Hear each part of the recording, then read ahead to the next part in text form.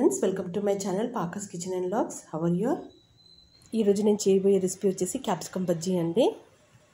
క్రిస్పీగా చాలా టేస్టీగా ఉంటుంది ఫ్రెండ్స్. మీరు కూడా ఒకసారి తప్పకుండా ట్రై చేయండి.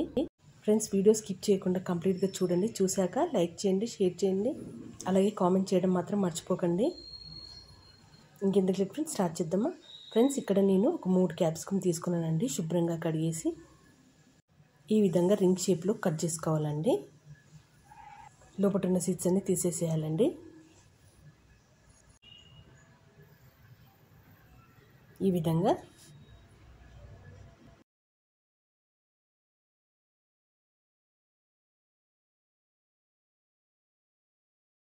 ఇప్పుడు ఒక బౌల్లో వన్ కప్ బేసన్ పిండి తీసుకోవాలండి. తర్వాత ఇందులో ఒక one tablespoon rice flour అలాగే ఒక హాఫ్ టేబుల్ స్పూన్ పసుపు. తర్వాత ఒక వన్ టేబుల్ స్పూన్ కారం. అలాగే ఒక హాఫ్ టేబుల్ స్పూన్ వాము తర్వాత ఒక half tablespoon garam masala powder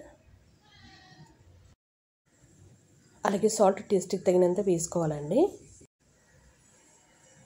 తర్వాత బేకింగ్ సోడా వచ్చేసి ఒక చిటికెట్ తీసుకోవాలి ఫ్రెండ్స్. ముందుగా అన్నిటిని కలుపుకోవాలండి ఈ విధంగా. తర్వాత ఇందులో కొద్ది కొద్దిగా వాటర్ యాడ్ చేసుకుంటూ ఉండలు లేకుండా కలుపుకోవాలండి.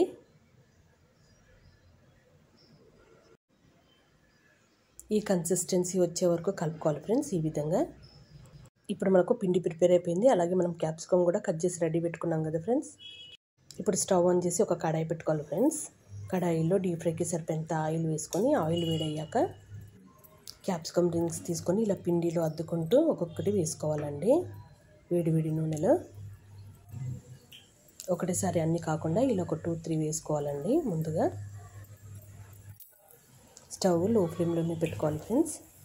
ఇప్పుడు రెండు వైపులా బాగా డీప్ ఫ్రై అయ్యేటట్టు తిప్పేసుకోవాలి.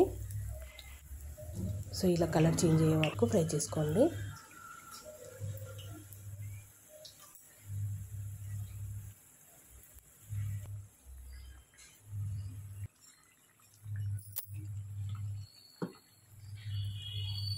ఇలా బాగా ఫ్రై అయ్యాక ఇంకా వేడి వేడివి సర్వ్ చేసుకోవడమే friends.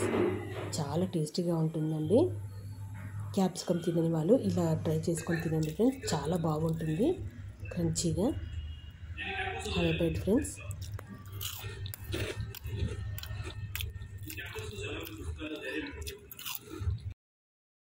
thank you for watching my videos friends please don't forget to subscribe subscribe చేసుకున్నాక పక్కన ఉన్న బెల్ ఐకాన్ కొట్టడం మాత్రం మర్చిపోకండి.